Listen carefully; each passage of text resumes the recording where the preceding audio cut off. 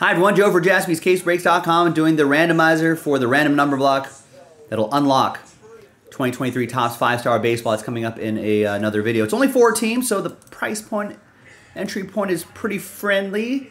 Big thanks to Eugene's, Lee, and Palmer, Travis, Oliver, Evan, and Alan for getting in on this. We appreciate you. I appreciate you. There are the numbers right there. And let's roll it and randomize names and numbers, four and a one, five times each. One, two, three, four, and five. We got a couple Palmers down to Matsui. And then four and a one, five times for the numbers. One, two, three, four, and once more, fifth and final time. There's five. We got eight down to four.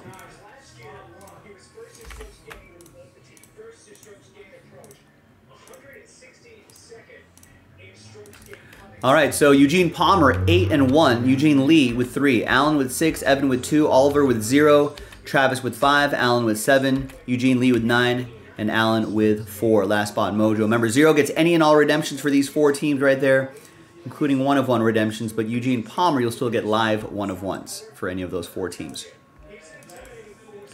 All right, so let's order these numerically. And I'll see you in the next video for the break itself, jaspyscasebreaks.com.